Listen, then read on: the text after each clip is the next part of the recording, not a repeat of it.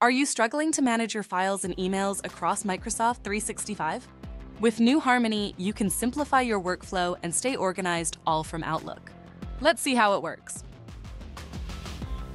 To get started, select an email. Click on Apps in the email message ribbon. Then select New harmon.ie from your list of apps. If you don't have it yet, click Add Apps to get it from Microsoft AppSource.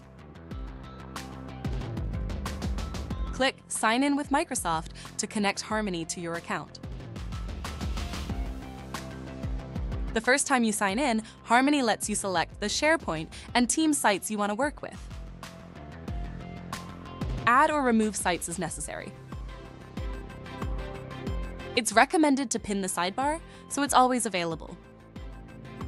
New harmon.ie displays your Teams, SharePoint, and OneDrive locations along with your recently accessed files.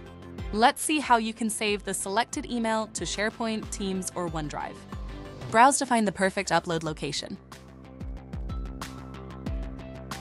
Hover over the location name and click Save Selected Email.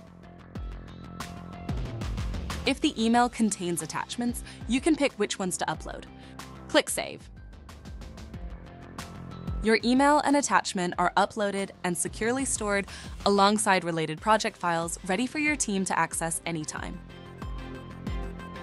Check out our next videos to see how you can use New harmon.ie not only to save emails and attachments to Microsoft 365, but also search for emails and files across Microsoft 365.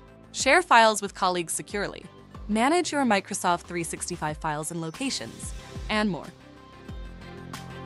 Get started today and transform the way you work with Outlook and Microsoft 365 365.